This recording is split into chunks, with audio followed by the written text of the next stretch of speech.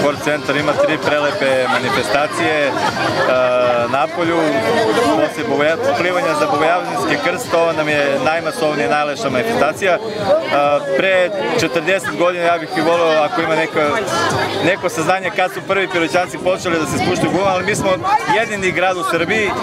koji se spušta i ovo nije rafting klasično, ovo je spust niz 15 brzaka koliko smo mi bili, spuštanje traktorskim i kamionskim gumama, obnovili smo tradiciju pre 40-50 godina, ali ono što je najvažnije je da smo htjeli da skrenemo pažnju na, na ovu rekreativnu zonu, na Kej, koji je po meni jedan od najlepših u Srbiji, e,